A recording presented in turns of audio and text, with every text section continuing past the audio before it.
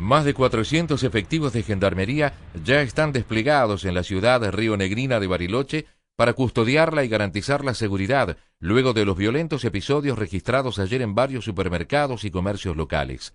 El envío de los gendarmes fue decidido por la presidenta Cristina Fernández luego de haber recibido una carta del gobernador de Río Negro, Alberto Beretilnec, informándola sobre la gravedad de la situación. Mientras tanto, el secretario privado de la Municipalidad de Bariloche, a cargo de la jefatura de gabinete, Oscar Borquiqui, afirmó hoy que en los saqueos y ataques a supermercados hubo un grado de virulencia jamás visto y afirmó que está claro que hubo una fuerza política detrás de la organización de los hechos. La presidenta del Consejo Deliberante de Bariloche, María Eugenia Martini, consideró por su parte que es muy posible que detrás de todo esto haya una cuestión de organización porque eso es lo que se vio en los distintos puntos de saqueo de la ciudad. Bariloche hoy amaneció en calma y con las fuerzas federales desplegadas por diferentes puntos de la ciudad, cumpliendo con la orden expresa del Gobierno Nacional de custodiar los bienes y las vidas de los ciudadanos de Bariloche.